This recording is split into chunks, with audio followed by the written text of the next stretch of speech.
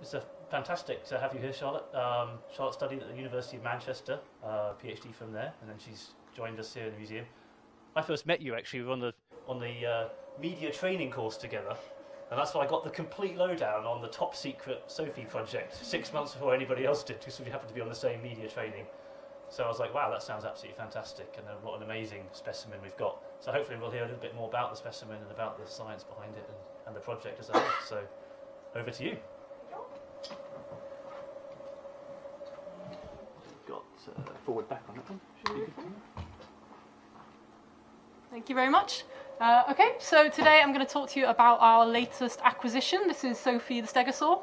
Uh, so my talk's kind of split into two, really. Uh, towards the end, I'll talk more about the actual science that's still very much ongoing at the moment.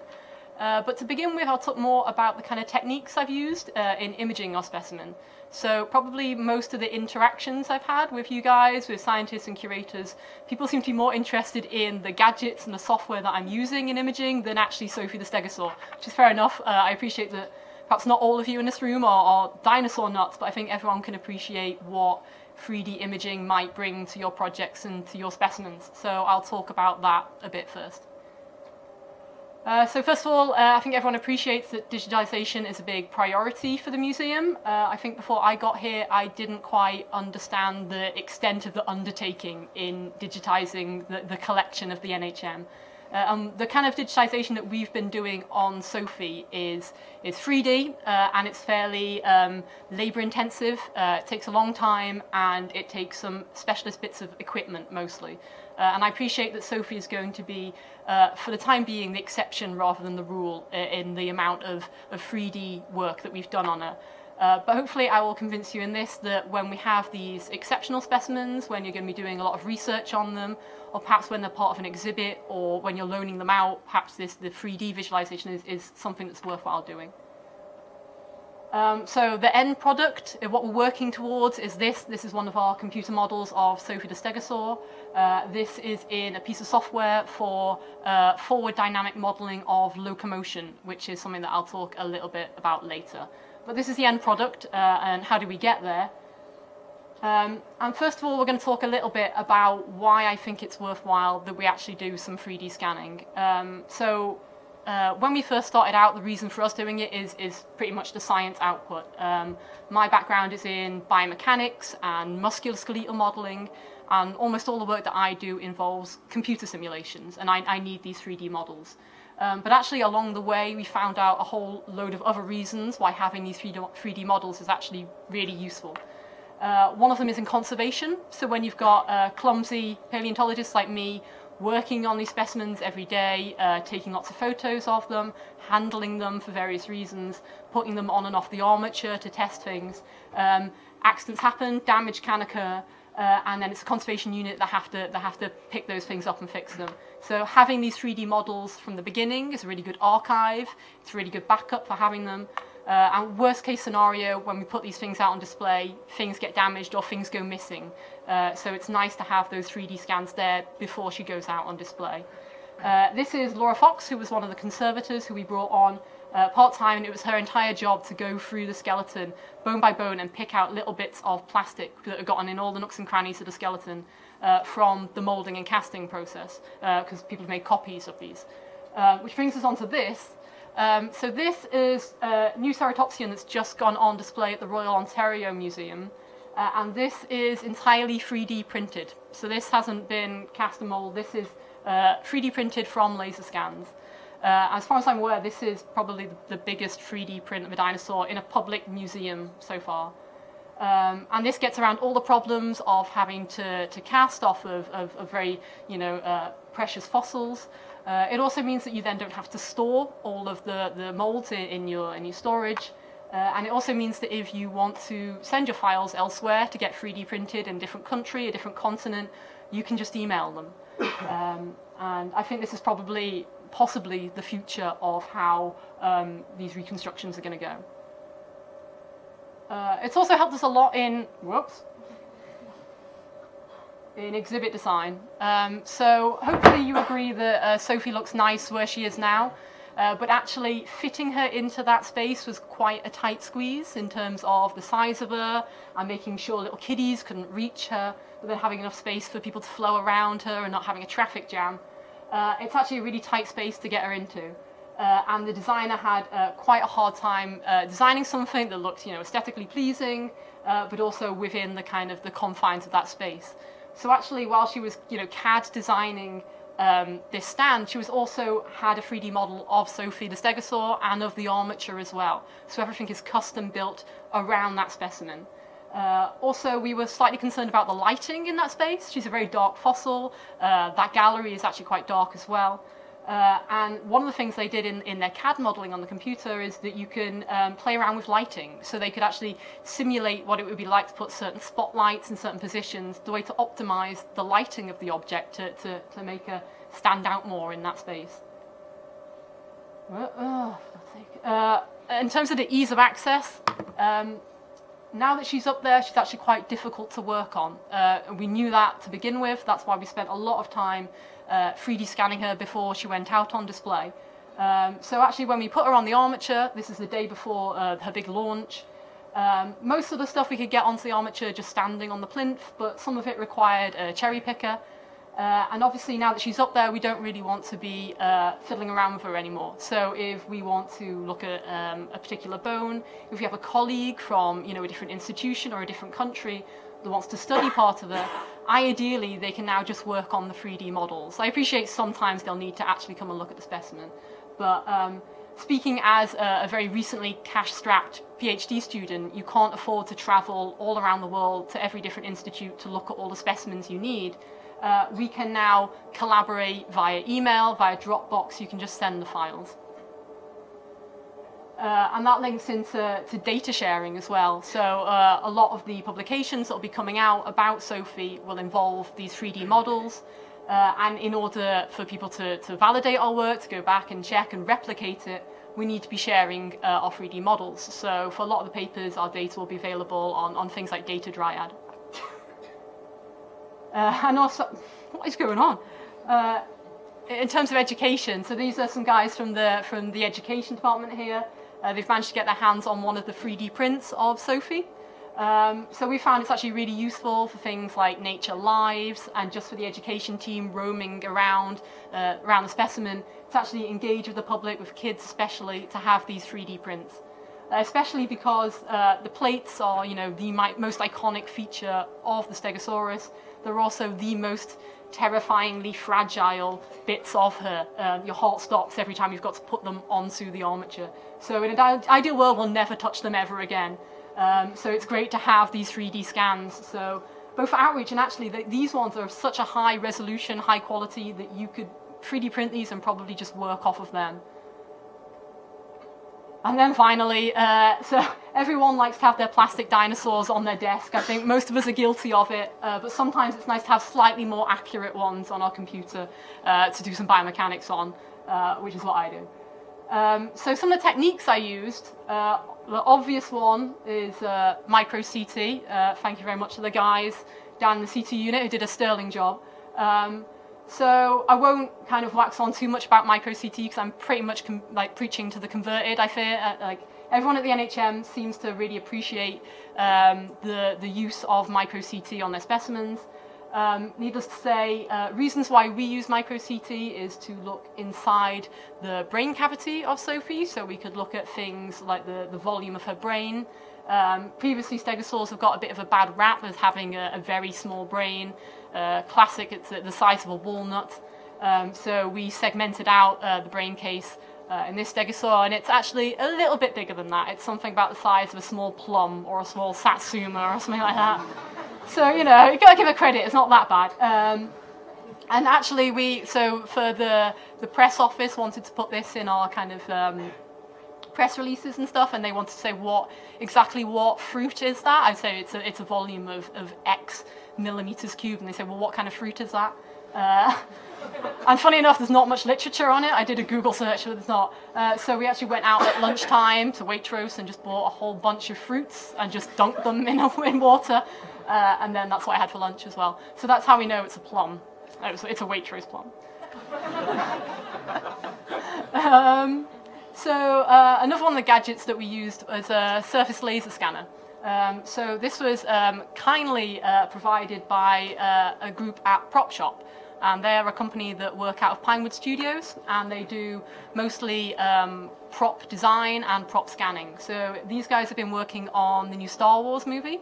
Um, they've laser scanned uh, every single person in the Star Wars movie, every extra, every costume, every bit of the set, um, partly to, to 3D print stuff, so when things break, they just print another one, uh, and also for things like computer games design. So when they do the new Star Wars computer game, they've already got 3D models of everything that was in the movie. Uh, and the gadget that they use for this uh, is this surface laser scanner. It's a ROMER Absolute Arm. Uh, and just to give you an idea of the kind of costings of this, uh, if you fancy one of these gadgets, uh, just the laser head on it is about 60 grand. Uh, the software license is another 10 grand. Um, the arm that it's on is, is super expensive, well, tens of thousands. So this is a really high-end piece of kit. Um, the resolution on it is lovely. You're talking the same resolution as, as the CT scanner, but obviously you're limited that you're not getting any internal detail at all. This is just external surface morphology. Um, but it can do very large things. So they've scanned uh, James Bond's Aston Martin with it, for example. Um, and also, the nice thing is they're real experts in 3D printing as well. So these guys have just been taken over by Voxeljet, which is a, a German company that specializes in absolutely massive 3D printers. Um, and so they did stuff for the Guardians of the Galaxy. Um, so in that picture there, in, in Chris Pratt's cockpit, they 3D printed everything in there. Um, so even the thing that looks like glass, that's not glass, that's 3D printed transparent plastic. So they, they just CAD model everything and just 3D print it out. Um, so uh, it's using that same scanner, that same printer that we've done the touch objects in the gallery. So we've printed uh, Sophie's plate, uh, her skull and the tail spike, and it's using um, these kind of gadgets. Uh, so this is briefly, if this plays, um, oh god, no, I don't want audio. Voxeljet Yeah. can manufacture complex Don't plastic panic. parts using a You don't need the cheesy, cheesy uh, talking. Um, so basically, the way that some 3D printers work is they uh, extrude a molten plastic, and they basically smear it over a plate uh, and build up layer by layer. Uh, the ones that Voxeljet have uh, are uh, slightly nicer in that they actually lay down layers of a kind of a plastic powder, and then a kind of print head comes over the top and consolidates it with basically a kind of glue. Some of them blast the powder with a laser and sinter it together, but these guys use uh, more of a kind of a glue technique. Uh, so you can see here they've put a layer of, of powder across, and then that's a, a print head printing a kind of pattern in glue effectively, and you do this layer by layer, uh, and you're getting a resolution of something like six, 600 dots per inch, so pretty decent resolution, uh, and that can print one meter by half a meter by half a meter volume. Um, so this is some of the, the biggest 3D printers in the world. Uh, and what you get out at the end is effectively just a tray of plastic powder, and somewhere in there, if you scrape it out, you find your, your 3D printed object. So this is the same technique that Sophie's plates and her skull were done in. Uh, and then they, they bake that in a furnace as well, and you can cover it with other, other glues to make it tougher. Um, so those two techniques are fairly um, fairly pricey uh, for the for the kit to start up with, and in terms of the the learning curve for how to use them well, uh, it takes quite a bit of investment. Um, the other option is photogrammetry, and this is how we digitize a lot of Sophie's skeleton. Uh, and this is something that you can go home or go out to your, specimens in your collection and you can do right now. All you need is a, an SLR camera, or not even that really, you can use your iPhone if you want, uh, and a free bit of software. Uh, so the way that photogrammetry works, hopefully you're not going to get cheesy audio here, um, you basically just take a whole bunch of photographs of your specimen of interest. So it could be a building, in this case, it can be a mounted dinosaur in the gallery, it can be your cat at home if it stays still long enough. Uh, just lots of photos from lots of different angles and something well lit. Uh, and then the way it works is it just looks for, for features, uh, so matching features identified either by um, different colours or very sudden changes in colours, and it compares between photographs uh, and matches up uh, areas of interest. Uh, for some reason it stopped, but anyway, you get you get a 3D model, something like that. This is on a large scale, so this is a fairly um, coarse point cloud. Um, but this is the kind of stuff that I was doing. Uh, so this is one of Sophie's tailbones. Uh, and I would take about 50 or 60 photographs of, of each of these bones. uh, using a tripod, SLR camera, somewhere reasonably well lit, quite a long exposure on it, so you've got a nice depth of field. Uh, and then using a free bit of software, which is Visual SFM for Windows, or you can uh, buy a copy of Photoscan, which is a little bit easier to use, and that's about 50 or 60 pounds for kind of an educational license. Um, and you get the thing in the middle. So that is a point cloud, that's not a mesh, that's just points in space. And there's several million points there. And you can keep color as well. Uh, and from that, you can then mesh them into a, a, solid object. You can even transfer color across to the mesh. And then they're good enough for, for 3D printing or for incorporating into to bigger models, whatever you wish. Or sharing them, turn them into a 3D PDF to send them to someone. Um, so this is another example. This is just our, our giant sloth. This was uh, using about 200 photographs. Uh, and that's one's quite tricky because it's quite difficult to get access all the way around. Um, so this is really at the limits of what photogrammetry can do. Uh, ways in which you could begin to improve this, we've been looking at um, quadricopters. So you can put little GoPros, uh, even on selfie sticks. You've seen lots of people in the galleries now have got selfie sticks.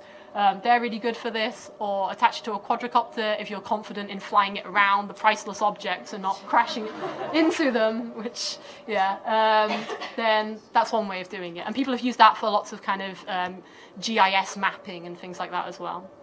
Uh, and this is the end result. Um, this is almost entirely done by photogrammetry apart from the plates. So the plates are really tricky, very fragile. So that's where we use the, the more expensive uh, surface laser scanner on the arm for. Um, but the vast majority of that was photogrammetry, and it is it's very labour intensive, um, but it's free, which is nice. Um, so the kind of research that will be coming out of this now that we've got our 3D models. Um, so one of the most basic things is we're just doing a, a redescription of Stegosaurus. So the go-to text still at the moment is Gilmore 1914, and it is um, the, as I say, go-to the go-to text on Stegosaurus, and it's what we've been using when we've been looking back and describing Sophie. Uh, and it's really um, just building upon this. It won't be replacing this um, but um, doing the full redescription of Sophie, uh, photographing everything, every single bone and lots of different views, and then also the 3D models. Uh, and these will be published open access uh, and with the 3D PDF, so everyone can, can get access and, and have a look at it. Uh, oh, body mass. So this is biomechanics. So this is what my background is in. Um, so one of the things that I'm interested in is looking at ways in which we can estimate body mass of extinct animals.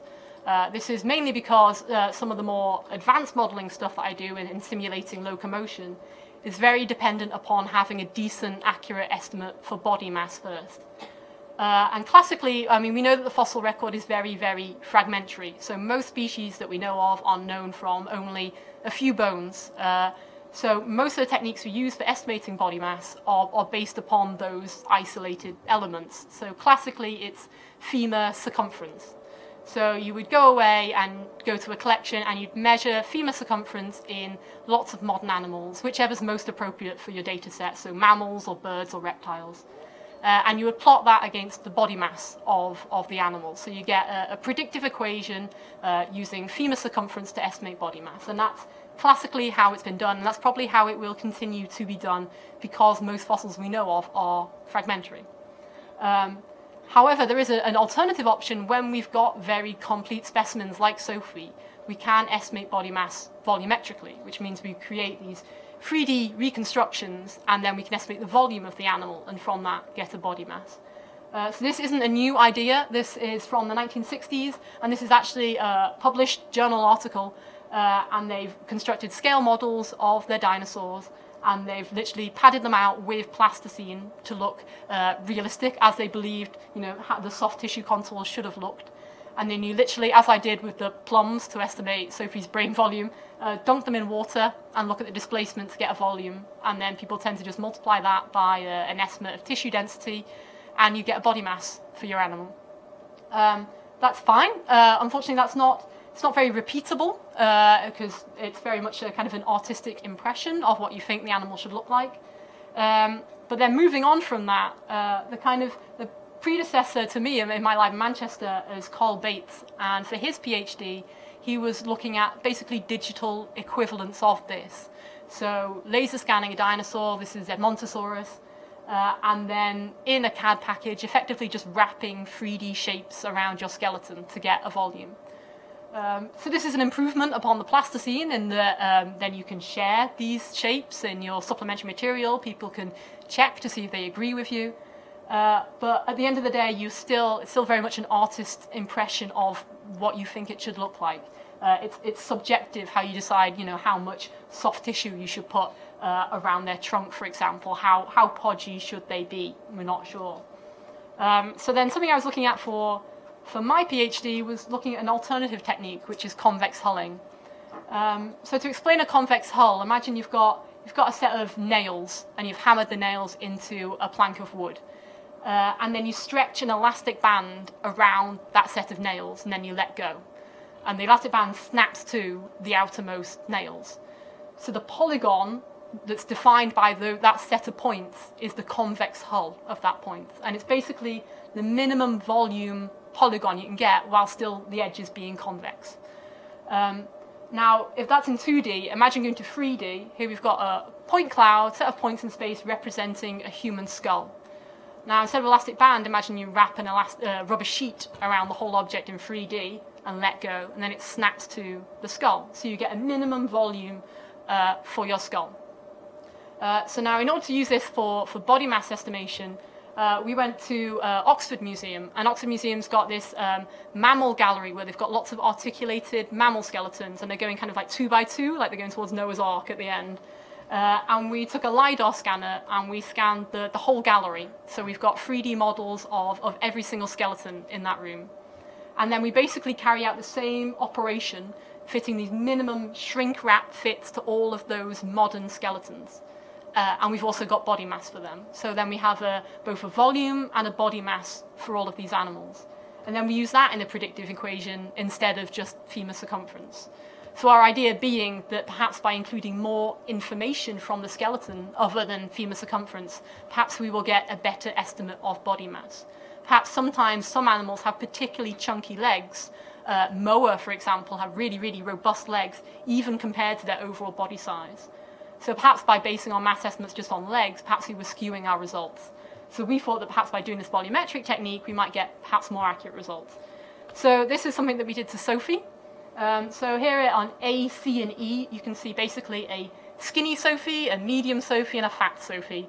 Uh, so this is just carrying out a sensitivity analysis on how we reconstruct her.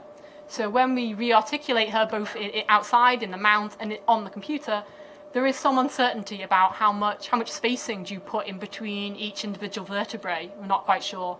Or how much do you flare the rib cage out? If you've got kind of damaged ends of your ribs, for example, you're not quite sure uh, how, how barrel chested she was, and that will really affect the volume of the animal. Uh, so you've done a, a skinny and a medium and a, and a, fat version of Sophie. From that, you can estimate the, the minimum convex hull, and using our predictive equation, you can convert that to estimated body mass. Uh, and for Sophie, we're getting things like 1.7 tons, I believe. So that's uh, smaller than most elephants, but about the size of a rhino, which if you go and look at Sophie is actually reasonably accurate, we think.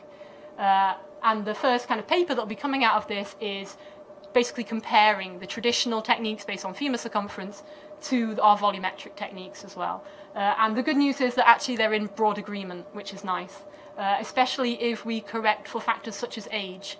So Sophie is a young adult. So based on histology, uh, she hasn't quite finished growing. So we have to take that into account when we predict body mass because we know that babies aren't just shrunken down versions of adults. You do change in bodily proportions as you grow. So once we account for that, we get agreement between our two techniques, which is reassuring for what we're doing. So why do I need body mass? Well, um, I need body mass and I also need what are called segment inertial properties. So that means how is the mass distributed throughout the skeleton. And that's something that you just don't get if you just base a body mass estimate on, on just the leg bones alone. Um, now this is Sophie and she's been muscled up in a program called GaitSym. And GaitSym is something that we developed in Manchester. And from this we can effectively reconstruct how animals would have walked. Uh, so we've had some success in doing this with some sauropods, with Argentinosaurus. Uh, and most importantly, we've validated it with modern species as well. So we've got uh, humans and a ostrich and a horse, I think, in GaitSym, and they all, uh, this technique reasonably accurately predicts top running speed in those animals. Um, so what we've done here, we've based the, the muscles on, on a published myology by Susie Maidment, Imperial, and McPaul. Uh, and we basically, you define the origin of the muscle and then where it inserts on the body, define some, some joints and how the muscles kind of wrap around those joints. Uh, and then we've got a model. And then we use a, a technique called uh, evolutionary robotics. Uh, it's based on a, a, kind of a genetic algorithm. Uh, the way in which it works, if we've got, say, 40 muscles, uh, I'll just randomly fire off all the 40 muscles in, in any old sequence. But then I'll do that a million different times in, in a random fashion. Uh, and we set some sort of success criteria, like how far she could walk forward in a given time period. Uh, and like 99 times out of 100, she will totally flip out and she will do a cartwheel backwards and a handstand and then fall over, and it's a disaster. But in that random sequence, one time she might take a slight step forward before she falls over. And because we set the success criteria as distance traveled, then that we would say is the most successful genome. We then take that one and then mutate it slightly, randomize it a million times, run it again. The next time she'll take a slightly better step forward, or then she might move her next foot forward. Uh, all of this has to be run on a supercomputer, so we use either N8 in the northwest or uh, Archer supercomputer in Scotland. Um, and eventually, uh, over several months, they effectively learn to walk by themselves. Um, so we don't set any criteria about how long their stride should be. All we set is the, the original muscle properties uh, and then some sort of success criteria. So we could also, instead of doing top speed, we could do to, in order to minimize energetic cost, for example.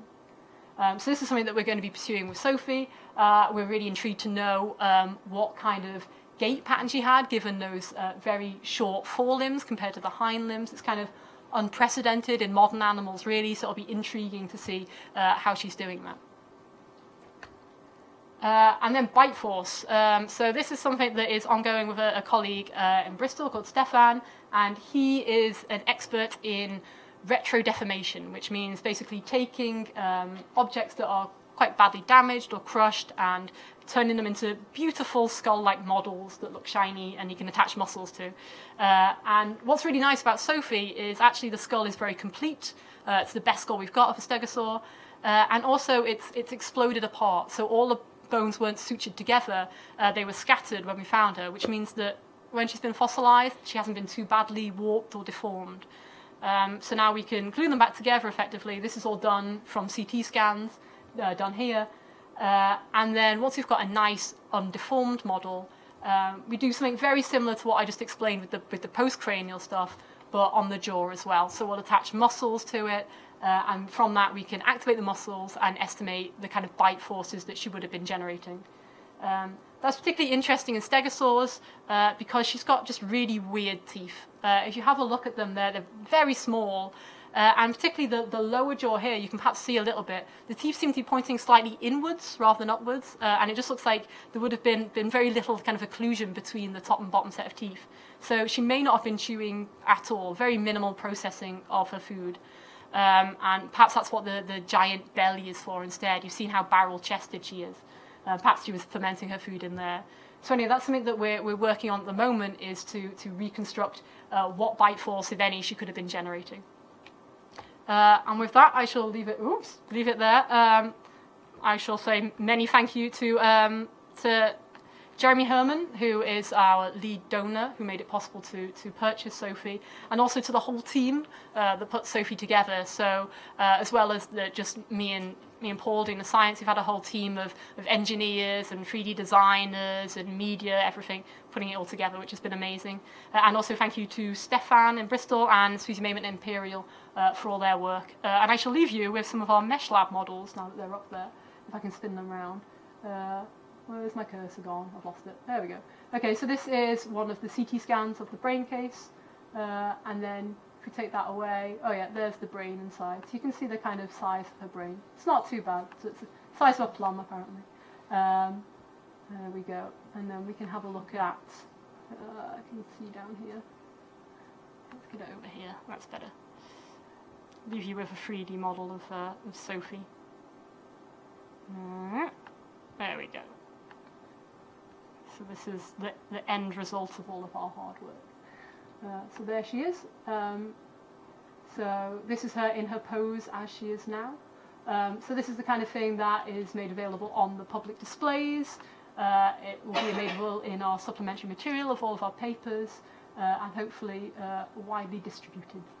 Uh, so with that, I'll leave you there. Uh, if you've got any questions, um, I'm welcome to take some or over beer, that would be good.